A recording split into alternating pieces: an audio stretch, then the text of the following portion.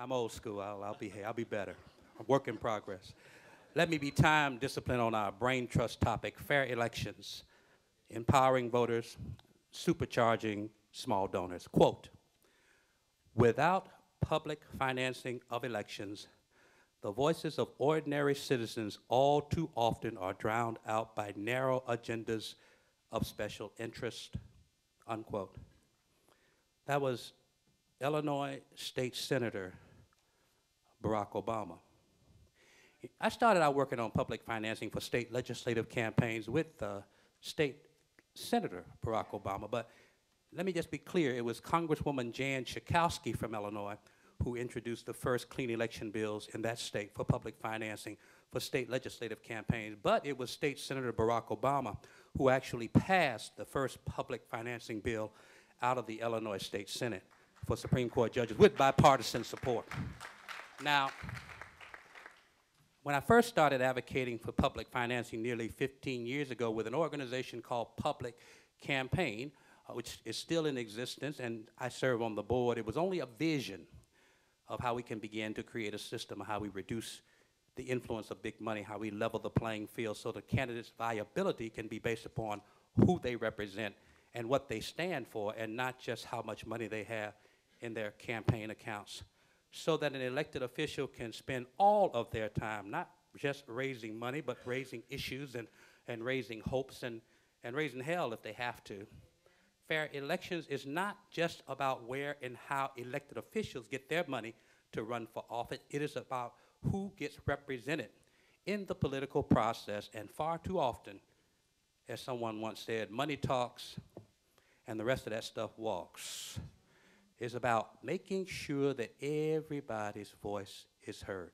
And when the Buckley versus Valeo Supreme Court decision that said money is speech was translated into the more money you have, the more speech you have, Nowhere is this ideal of representing the everyday, average, ordinary American than the people that the Congressional Black Caucus represents and fights for every day. 15 years ago, fair elections was merely a vision. It has always been possible that people of color candidates can raise large amounts of money. Presidential candidate Obama has been able to raise a lot of money, mostly from internet donors. But the digital divide has left too many of our low income Americans not able to afford computers, let alone campaign contributions. So Senator Obama has broadened his donor base from those who have a lot to those who have some. But we need to make sure that those who don't have much, their voices and their concerns are important too. And that's why Senator Obama is a proud co-sponsor of the Fair Elections Now Act, a Senate bill that was recently introduced by chief sponsors Dick Durbin, Democrat from Illinois, and Arlen Specter, Republican from Pennsylvania.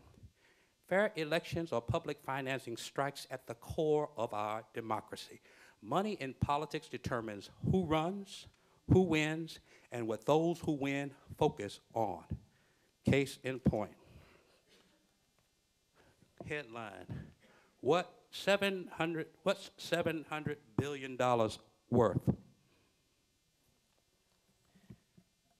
$700 billion with a B to bail out the Wall Street finance industry. And everybody knows how we got there.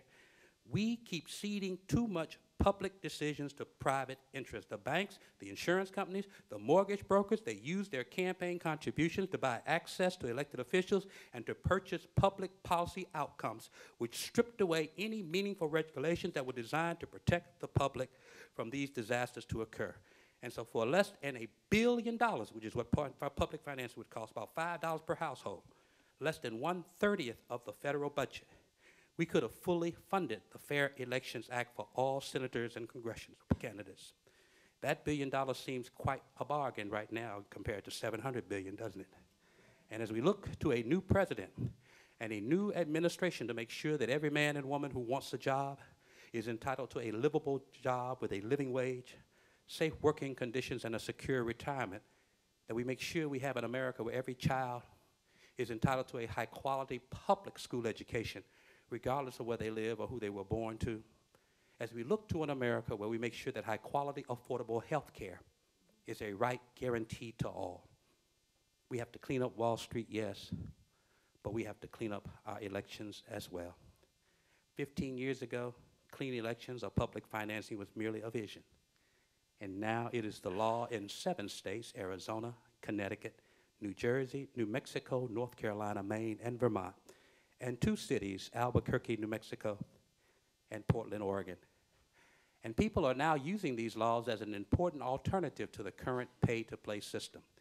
It has not only broadened the possibility of running for office to a more diverse field of candidates, it has also broadened the range of issues that gets discussed.